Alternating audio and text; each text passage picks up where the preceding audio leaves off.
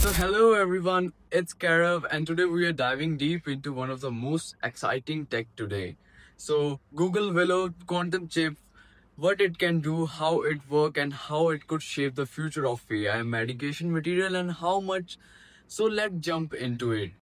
So before starting the video, I checked the stats. Only 15% of the people who watch my video actually subscribe my channel and rest of them not subscribed yet. And if you like this video, please subscribe, hit the subscribe button. It will help me also. So let's get started. The chip is called Willow and it is a quantum processor developed by Google Quantum AI Group. So some headline number it uses around 105 physical qubits in its architecture, Google have revealed that Willow can perform a benchmark competition in under 5 minutes that they estimate would take a classical supercomputer something like 10 septillion year that is 10 raised to power 25 to complete. Importantly, Willow also demonstrates significantly improved quantum error correction. As you scale more physical qubits, the error rate for the logic qubit go down, which is the huge breakthrough. So let's break down how does it works. So there are classic versus computing. In classic computer, we have bits, 0 or 1s.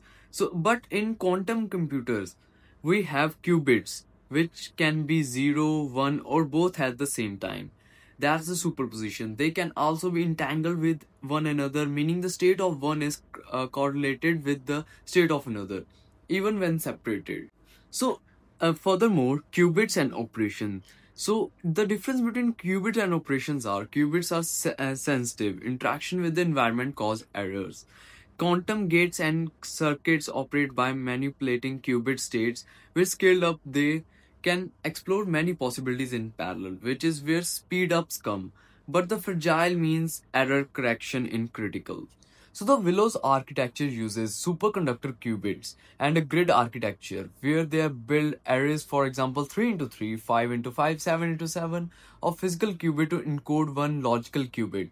This is the surface code approach for error uh, correction. So actually the key breakthrough as the size of this lattice increases more physical qubit per logical qubit, the error rate reduces exponentially. That means the more you upscale properly, the better the logical qubit becomes.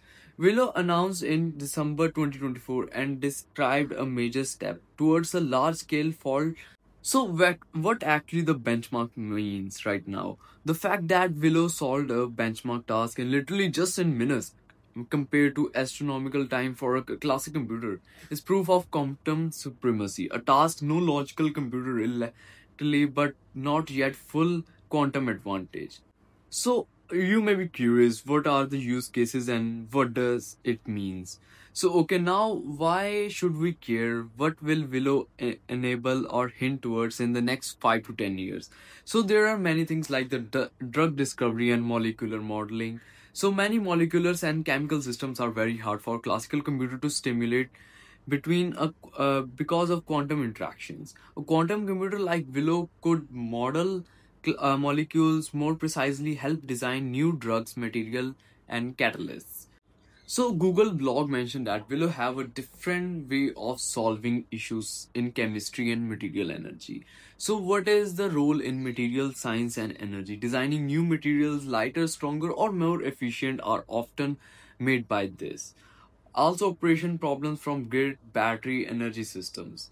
So it is also helpful in AI and data generation. Like Google had talked about the quantum computing gen generating new kinds of data sets for AI because if you can simulate system in new way, you get new training data and insight for machine learning. Also, al uh, quantum algorithm may enhance optimization research and certain subtasks in AI. So why is this breakthrough actually important? It shows empirical evidence that error correction scaling in working. When you use more qubit properly, you can accurately improve logical fidelities. That was a big hurdle for the last 30 years. It gave confidence that uh, quantum hardware is moving from novel lab curiosity to real scientific tools territory. By achieving a competition so far out of reach of classical computers, it resets the expectations for what is possible. So actually this part is one of the most crucial like how you might engage, what to watch for. And since you're passionate about AI and ML tech innovations, here are some practical things to keep on eye. Of uh, so courses and tutorial. Google offer resources around quantum error corrections and the open source quantum program libraries like Cirq by Google is something you can experiment with. So even if you don't have a quantum computer, you can simulate quantum circuits, learn quantum algorithms. So think about a hybrid architecture. Many near terms will be using quantum plus classical working together. So your video editing, AI, ML, uh, background cloud be highly relentless in design. So here's actually a study and a career advice. If all this quantum computing stuff exci- excites you, and you want to actually work with it someday. Here's a simple roadmap like degree that will help. Most people start with computer science, physics, and electrical engineering or mathematics. A solid foundation is this. Give you the tool to understand qubits, circuits, and algorithm. So next is what to study. Focus on uh, quantum mechanics basics, linear algebra, probability, and programming.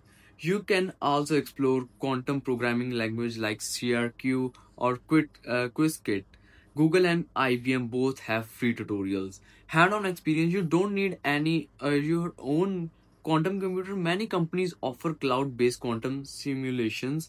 You can practice design algorithms, simulation circuits, or even contribute to research pro- projects online. So the at the end career path, quantum computing opens door in AI and ML, drug discovery, cryptography, material science and research lab.